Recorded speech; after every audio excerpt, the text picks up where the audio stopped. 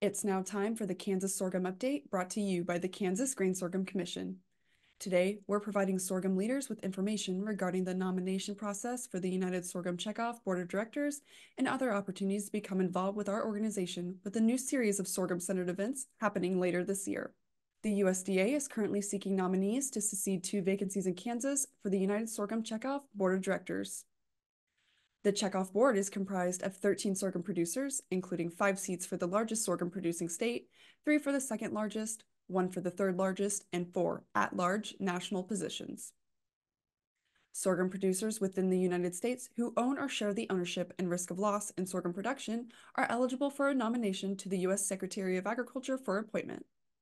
Nominations are due to the USDA on May 3, 2024. For more information, you can visit sorghumcheckoff.com or visit our website as well by visiting ksgrainsorghum.org to express interest. The Commission is also excited to announce its latest collaboration with K State that will launch this summer.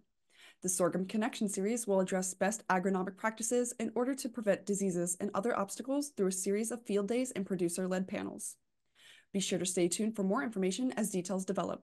We'll be sure to keep you updated via our social media, digital newsletter, and of course, our website. Thank you and stay tuned for next time.